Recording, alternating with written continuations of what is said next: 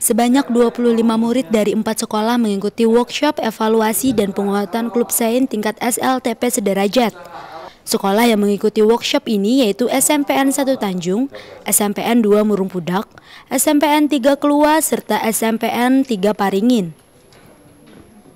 Workshop ini merupakan workshop yang digelar Yayasan Adaro Bangun Negeri untuk melatih para murid yang terpilih untuk menghasilkan karya ilmiah, baik di sekolah maupun di ajang kompetisi. Sebelum memulai percobaan sains, para murid diajak untuk berdiskusi dengan teman serta guru dalam satu sekolah untuk mencari 100 pertanyaan dalam satu kelompok. Tidak ada batasan dalam pertanyaan, siswa dibebaskan apa saja yang dapat menjadi bahan pertanyaannya. Abdullah Muzim Marpaung selaku konsultan klub sains mengatakan bahwa kegiatan mengajak anak, murid serta para guru untuk membuat pertanyaan sebanyak-banyaknya sangat penting karena pertanyaan merupakan ibu kandung inovasi. Oke, uh, workshop kita hari ini itu kita mulai dengan uh, mengajak anak-anak dan para gurunya untuk membuat pertanyaan sebanyak-banyaknya. Mengapa ini penting? Pertama, uh, pertanyaan itu adalah ibu kandungnya inovasi. Jadi kita nggak akan bisa berinovasi sebelum kita bisa mengajukan pertanyaan yang baik dan uh, mengundang untuk penelitian lebih lanjut. Yang kedua, kemampuan bertanya ini nampaknya nggak dibangun di sekolah karena di sekolah itu biasanya anak-anak menjawab.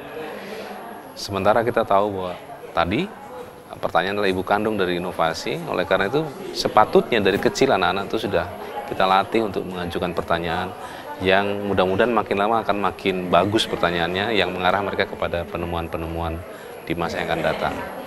Nanti sesudah ini mereka akan kita perkenalkan dengan berbagai teknik untuk e, mengembangkan ide-ide baru sehingga pertanyaan mereka yang tadi sudah mereka buat itu bisa lebih dipertajam sehingga bisa menjadi bahan penelitian yang nanti akan mereka kerjakan bersama para guru atau dibimbing para guru yang pada akhirnya kita harapkan bisa menghasilkan karya ilmiah untuk mereka tampilkan baik itu di sekolah maupun di ajang kompetisi. CSR Program Manager YABN Gufron Solihin juga menambahkan kegiatan ini untuk melatih para murid untuk terbiasa berpikir dengan logika dan sistematis dalam bidang sains. Kegiatan ini adalah untuk melatih anak-anak kita supaya terbiasa dengan berpikir logik, berpikir sistematis di dalam bidang sains.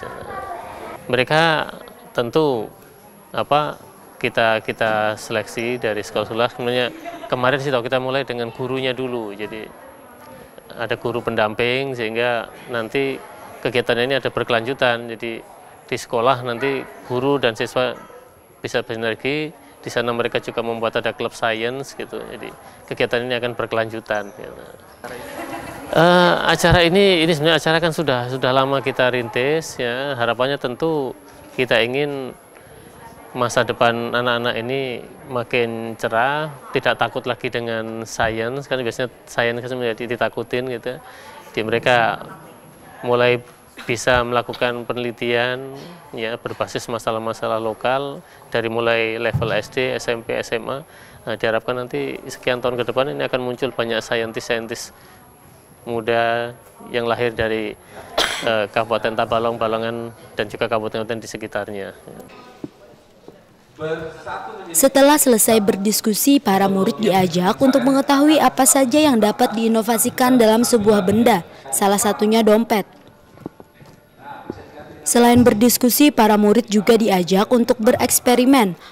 Para murid dibagi dalam dua kelompok. Kelompok pertama diajak untuk membuat pemanen pasir besi dan kelompok kedua diajak untuk membuat alarm keamanan. Dari Tanjung, Pemkap Tabalong melaporkan.